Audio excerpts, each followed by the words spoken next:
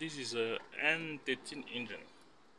I just want to show how to set the timing how to the timing. So what you do here you just need to use the timing tools.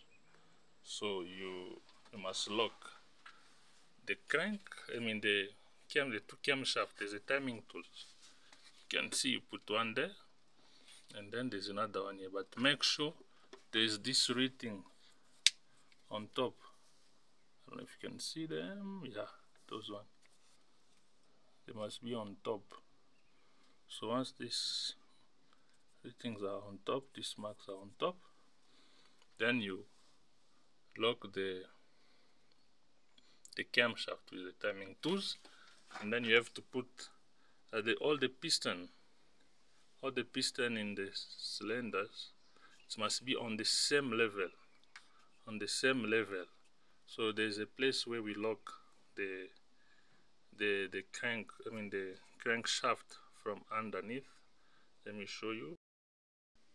So it's right here. You must put this one inside. That must go then you lock the crank. Lock the crank.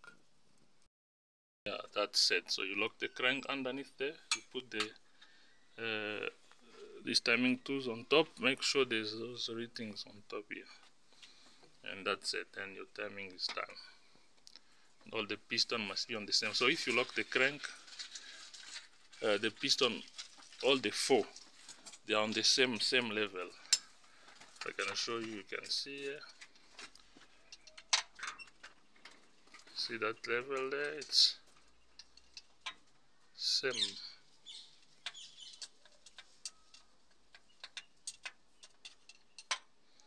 all the piston on the same same same level.